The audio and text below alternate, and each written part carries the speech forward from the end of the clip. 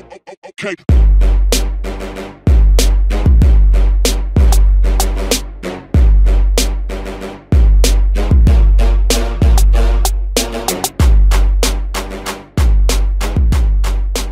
Здравствуйте, меня зовут Федор Васильев. Приветствую вас в 81 уроке видеокурса «Уникальные виджеты Adobe Muse». В этом уроке очередной виджет для изображений.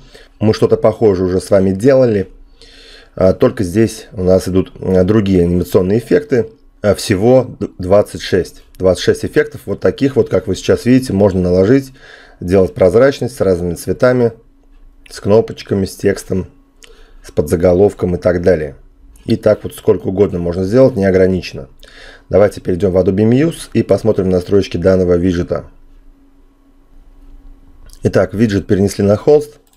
Открываем настройки и первым делом мы добавляем изображение. Ну, как всегда вы должны понимать, да, что изображение лучше подготовить заранее нужных размеров на фотошопе. Добавляю изображение. После этого за маркировочки можете как-то подогнать, если он слишком урезает ваше изображение. И давайте посмотрим. Смотрите, Hover Background Color. Это тот цвет, который у нас заливается при наведении. Давайте сразу изначально посмотрим, как выглядит у нас, пока мы ничего не изменили, чтобы лучше понимать. Вот вы видите, у нас белый фон, красные буквы, черная кнопка, на черной кнопке текст белый. Здесь еще вот это М, это у нас подзаголовок. Углы скругленные. И давайте это все менять под себя. Значит, вот этот бэкграунд я меняю на свой радиус, скругленные углы, я это не люблю. Ставим 1. Opacity можно сделать прозрачность этой подложки, чтобы просвечивало изображение под ним. И вот они, 26 эффектов. Опять же, придется каждый просмотреть, чтобы выбрать для себя наиболее интересный эффект при наведении. Дальше, вот этот весь блок, это отвечает блок за title, то есть текст, который в самом верху появляется, когда мы наводим мышь на наше изображение. Я пишу здесь демо. Текст этого демо управляется здесь. Так как фон мы выбрали светлый, я беру цвет текста темный. Размер этого текста можно сделать побольше. Шрифт для этого текста в списке выбрать. И выравнивание этого текста по умолчанию по центру, лево, право и еще два варианта. Надо смотреть, где это отображается. Вот эти все настроечки, это настроечки под заголовка. Напишу демо 2. Цвет для этого подзаголовка управляется здесь. Также беру темный цвет. Size – это размер под заголовка. Можно сделать побольше. Также шрифт для подзаголовка и также выравнивание оставляю по центру. Вот эти все настройки отвечают за кнопку.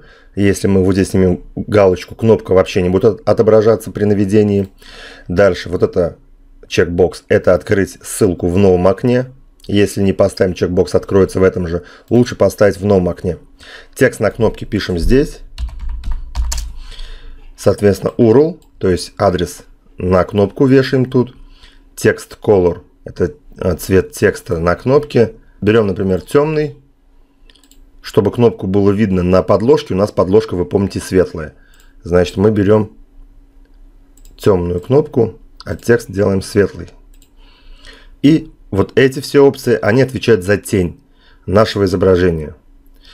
А, вы можете выбрать цвет тени, прозрачность тени, блюр это размытость. И еще несколько настроек. Вот это, например, настройка, это отступ тени от объекта. Да? Здесь можете настроить под себя. Вообще настройки тени стоят как бы нормально. Можете их даже не трогать. Вот и все, в принципе, настройки. После этого вы можете зажать клавишу Alt и спокойненько продублировать столько, сколько вам нужно. И задать другие эффекты. То есть заходим во второй виджет, меняем там, например, изображение. Вот здесь меняем какой-то другой эффект. И вообще каждый этот виджет можно по-разному настроить, если это необходимо.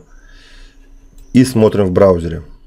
И у нас с вами все получилось. Вот такие вот интересные эффекты можно получить с помощью данного виджета.